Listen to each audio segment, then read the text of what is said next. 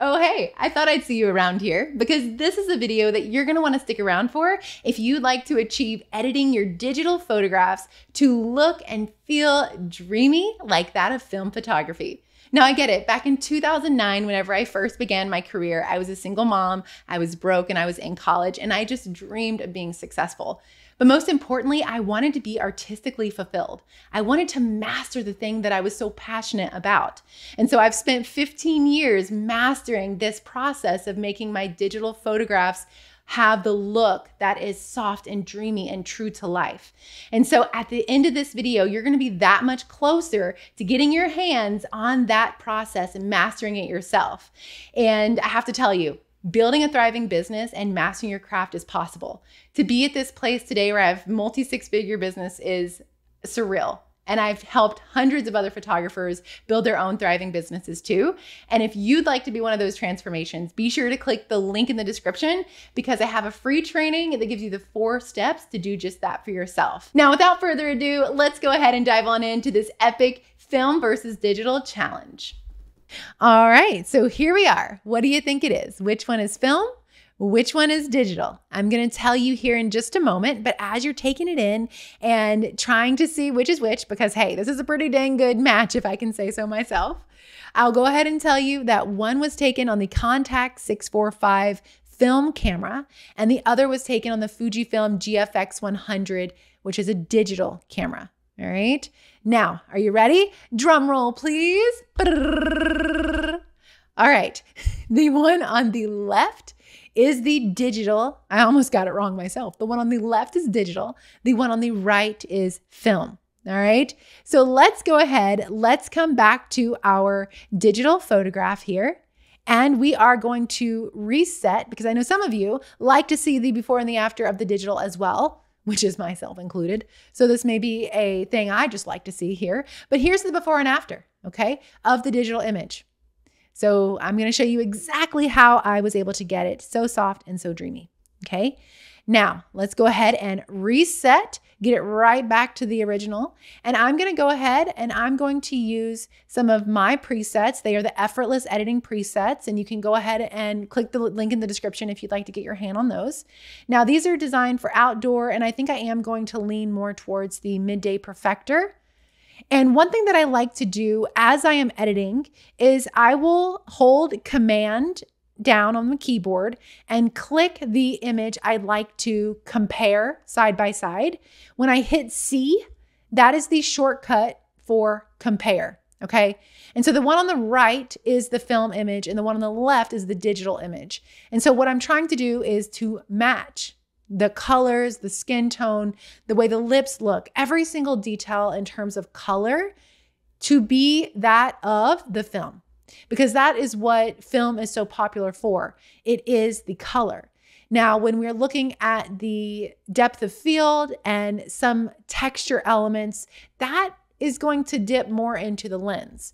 Um, but for today, this was 80 millimeter Carl Zeiss lens. This is a 63 millimeter um, Fujinon lens here, which um, is not an exact replica, of course, because one is a longer focal length, but it is still going to be really, really close. What it would have even given us a closer match is if I would use a filter is if I would use a filter and put the Carl, the 80 millimeter Carl Zeiss lens on the Fujifilm camera. Now we'd really be talking. Okay. But this is what I do. I like to go back and forth when I'm trying to match. Once I have all of the, once I have this image matched, I can then copy my settings on this photograph and put it on all of the other images in a similar lighting scenario to shortcut my editing time. Now I'll show you how I do that at the end of the video. For now, we're gonna move over into develop and we're gonna go ahead. We have the preset on.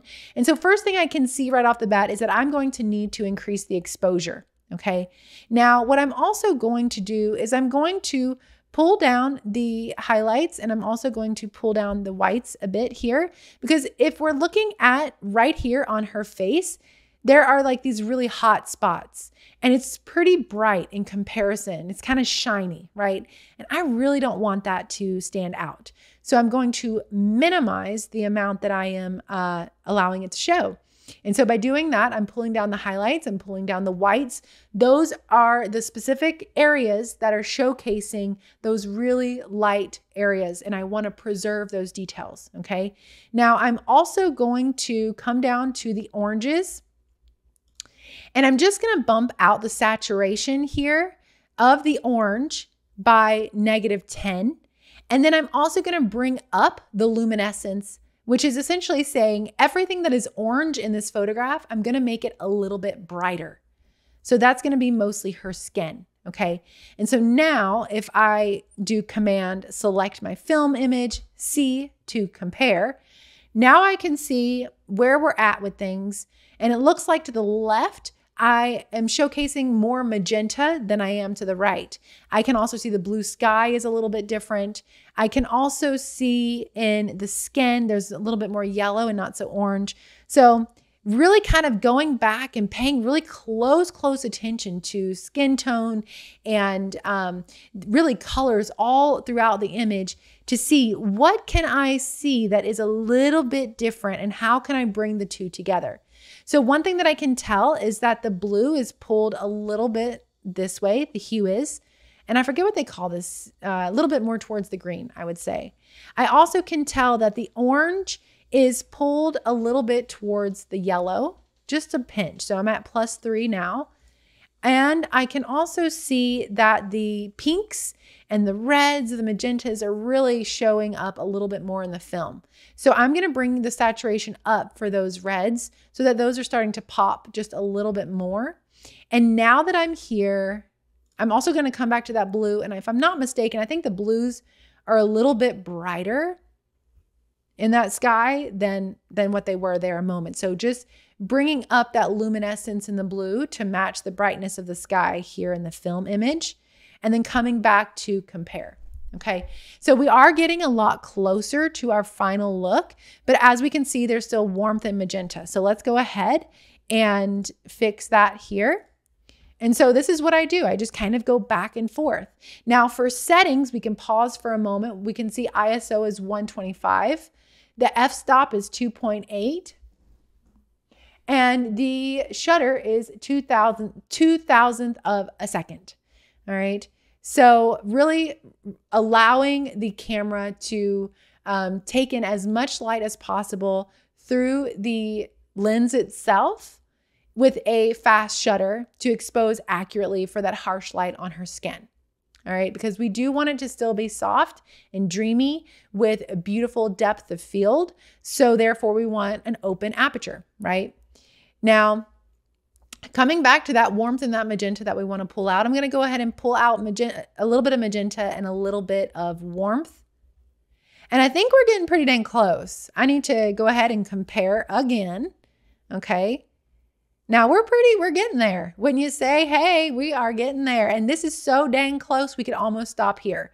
But I'm going to show you a few more things that I see that personally would drive me crazy. Okay. And that is, if we zoom on in here, we can see there's these shiny elements on her face. And I don't really like to showcase a lot of shiny spots on the face. And so I'm just going to very minimally um, edit this out just a little bit. Okay. Now we are going to have to be careful because there is netting. And so I am aware for this specific edit that it will likely not be 100% accurate with the mesh. And I am perfectly fine with that because I care more that we don't have a really shiny spot on her nose. Okay. And if I have to kind of try a few different spots, that's fine with me. And so as I start to do this, I can see other little red spots start to show up and and so I will do my part to edit that out so that it's not as visible and here before and after just this little area here. Also, if I'm looking here, hitting Q is the shortcut for the heal tool. And so that will allow that shortcut to just pop right up. Having keyboard shortcuts will save you so much time in the long run. And so Q is a shortcut again for heal. Okay. Now you can see here that her skin is looking a good bit smoother there. And one thing that I like to do is I'll come down to the history and I'll just kind of find where I was before I started using the heal tool. And I can see if you watch, let me zoom in here. If you're watching her nose and her cheek, and I go to currently how it is, you can see now it's much, much softer and uh, uh, there's no distractions. You know, our focus is going right into her beautiful eyes. Now, I am going to go ahead and bring up the shadows because let me go ahead and compare, make sure that you guys can see it as well. If we hold the compare and we're just looking at the shadows, so the darker areas of the image, I can see that on the right, which is our film image, her skin is brighter in comparison to her hair, whereas on the on the left, it's a little bit um, softer, uh, and the hair is a little bit um, brighter. Not a huge difference, but this is going to help us um, create the same pop in the digital image on the skin as the one on the right, which is the film. Okay, so let's go ahead with our digital image and pull up the shadows a good bit here. And then I'm also just going to pull down the blacks because those are the fine details. And I don't want to lose the contrast that we had with the shadows. I want to just simply make it softer. So by pulling up the shadows, I'm softening the contrast, but yet maintaining the strong defining parameters that are actually the black tones, which would be between her lips, where her not her nose makes the crease, the line between her eyes, um, where the jawline is, all of these really fine lines. That is where, when you pull down the blacks, it's going to be impacted the most. And so, keeping that definition allows the image to still remain really clear and to hold its its look of being in focus and to have strong clarity. All right. So again, if we just are looking back and forth with the compare tool, here we can see that we are pretty dang close. And I think at this point, the only thing that I would really worry about changing is honestly just the background. And I see a little bit of red on her nose. And that is me being the perfectionist that I am. So with the blue, I'm going to bring it more towards the green. I'm also going to bring up the luminescence of it and pull down the saturation. And that should do it to match the other one, uh, the film image. And then right here, I can, this is something I wouldn't do it to all images, but if I'm going to put this in my portfolio, I will fix these little things that maybe only I see but I do think that at the end of the day, whenever it comes to um, being a high end photographer, taking that extra step in your editing will pay off. It is the difference in the expert and the amateur. All right. So you can see it in a portfolio, it stands out. So I'm going to go ahead and pull out the magenta and a little bit of saturation there on her nose. Um, and I'm also bringing up the exposure and maybe even adding a little bit of warmth. And so if we come back before, you can see that it was a little bit more red. Let's see. I'm going to go ahead and pull out a little bit more pink here. A little bit more of that magenta. All right, and that'll do it. Fantastic. Beautiful. Okay. So now that we are here, I'm going to call this one done. I might bump up the exposure a little bit. Let's see, pull down the whites. I think that's pretty good. I'm actually going to come down yeah, I think that's great. All right, let's do a good old compare. Whoops, wrong one. And there you have it. Here is our before and our after of matching digital to film. Now, one thing that I want to show you really quick that I promised that I would show you is here's another photograph um, that was taken at that same location, same time, you know, different set of images. This one is, these are also. Um, and so, what I can do now that I have um, match this one to the film is if I come over to develop module, I can hit copy and simply I can hit shift and, you know, uh, select a variety of images. So I could select if it was 20 images all in that same location, same setting, same lighting scenario, I could simply come over here and hit paste. And all of those images now are edited to match film. And it saves me the time. Of course, I have to come in and tweak things a little bit here and there. But now these photographs all have the same edits put on them. And the beautiful part is it's going to save me so much time. Which is what I am all about. If you can edit images with consistency and speed, then you have a recipe for success. And there you have it digital match and film. Who would have thought? Now, if you are wanting to build a thriving business, don't forget to be sure to click the link in the description. There's that free training just for you, revealing the path forward. And be sure to like and subscribe because, hey, we got new videos coming out all the time and you're going to miss it. You don't want to miss it. So be sure to like and subscribe.